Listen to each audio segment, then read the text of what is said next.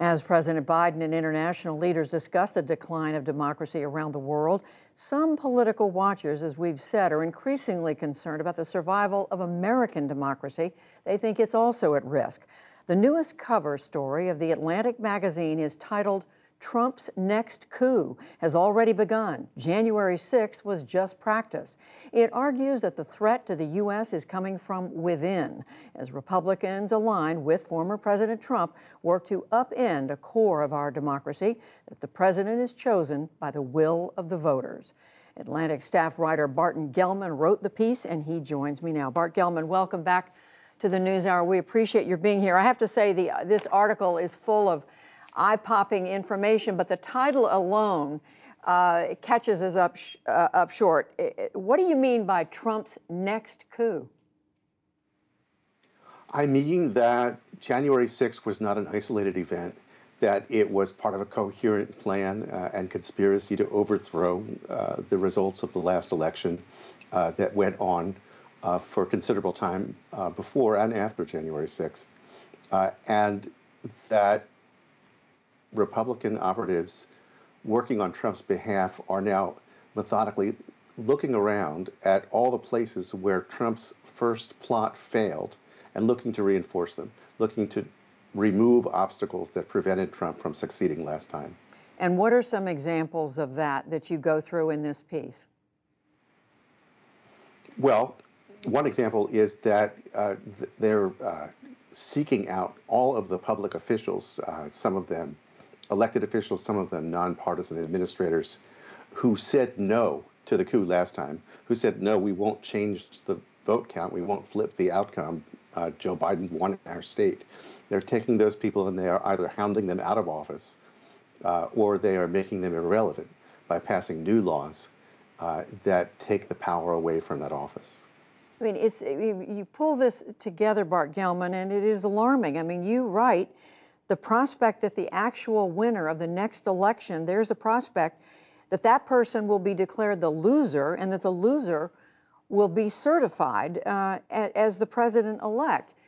What, what makes you believe at this point that these efforts by uh, people who support, who are allies of President Trump, could actually pull this off? The whole uh, currency of, of presidential election is electors each state has its own share of electors. And Trump's strategy last time and, and, and the strategy that is uh, being laid out now for the next time is to ask state legislatures controlled by Republicans uh, in states that Biden won to change the electors, to simply say we're not going to count the electors that were uh, chosen by the voters. We are going to put forward electors for Trump uh, because we, the Republican legislature, say so. And, and we saw, and you, you mentioned, and we know that states like uh, Wisconsin, Georgia, uh, and maybe even Michigan uh, were in a position to, to, uh, to make these kinds of challenges. I want to specifically zero in on what hap what's happened in Georgia since the election. And there you have the authority for overseeing the election taken away from local officials in Fulton County, which surrounds Atlanta, and turned over to the state legislature. How does that play into the point that you're making here? Well, let's go through the list of everything that's happened in Georgia uh, with respect to elections. You had a Republican governor and a Republican Secretary of State, both of whom certified that Biden had won the election. That was their job, faithfully to reflect the actual count of votes in Georgia. Uh, for this crime against Trump, uh, the former president uh, has declared war on the uh, on the Georgia governor, uh, has recruited a candidate to try to replace him. Uh, the Georgia legislature had, ha, has removed the Secretary of State's power over elections so that next time it comes along, he won't be the one capable of certifying or decertifying an election. they have changed the rules so that a board appointed by the Republicans in the legislature can fire the election officials in counties like Fulton County, where Atlanta is and where most of the Democratic votes are. Uh, and so they've gone systematically through all the things that prevented Trump from stealing the Georgia election after losing the vote. and they have changed them. You also, Bart Gellman, I mean, there's so much to ask you about here, but you spent a lot of time trying to understand who the people are who believe that, that former President Trump won re-election, who don't believe uh, that Joe Biden was lawfully elected. And you point out uh, uh, that these are not lone wolves, that these are people who are part of ordinary communities around the country. That's right. There was a, a, a typical profile for uh, politically violent people in the past has been uh, young and male and unemployed and uh, low education uh, among other things. Uh, look at what happened on the January 6th insurgency. Look at the defendants in those cases. There are lots of women. The mean age is 42 years old. So these are middle aged people, well off, white collar jobs, own their own businesses. they are not small cells of, of violent predators, or, and, they're, and they're not lone wolves. What they are is part of a mass movement uh, that believes that uh, Trump was robbed of victory and, and believe that violence is justified to restore him to power. And how many people do you believe fit into that category? Well, the best research on this I know of is uh, done out of the University of Chicago, and they have found uh, that there are about 21 million Americans who agree with two propositions. One is that Biden is an illegitimate president, and the other is that violence is justified to put Trump back in power. That's 21 million uh, uh, adult Americans, and that is uh, a, a, very sad number for our uh, for our political enterprise.